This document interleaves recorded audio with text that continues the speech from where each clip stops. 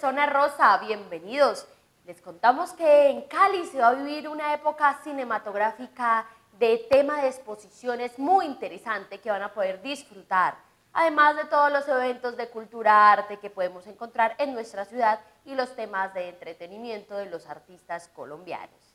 Recuerden seguirnos a través de nuestras redes sociales, nos encuentran en CNC Cali en Facebook y CNC Cali en YouTube.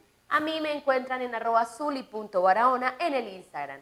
Por ahí siempre estamos publicando todas las notas de entretenimiento que hacemos aquí para todos nuestros televidentes. A los televidentes también de Legón Televisión no se despeguen de nuestra programación porque siempre les traemos la mejor información. Les cuento que en Cali se va a abrir una exposición de cine de todo lo recopilado entre 1851 y 1951. Ese es el nombre que lleva la exposición que se vivirá de 800, de 800 piezas cinematográficas en nuestra ciudad. Aquí toda la información.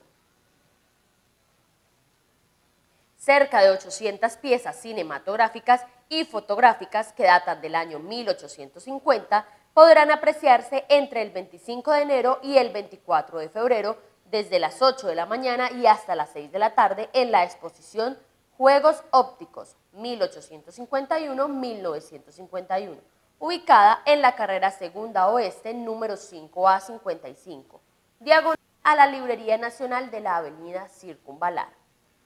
Son antiquísimas joyas de colección entre las que se destacan proyectores de cine, cámaras fotográficas y un gigante Jar Jar Binks de la saga Star Wars, las cuales se combinan con cerca de 100 elementos que no hacen parte de la exposición cinematográfica y fotográfica, pero que están ligadas a su historia, como un afilador de cuchillos hecho para la monarquía en 1804, que llegó como pieza de cine, pero que en definitiva tuvo su creación para amoldar instrumentos de corte, según lo cuenta Hugo Suárez, el fundador del Museo Caliwood.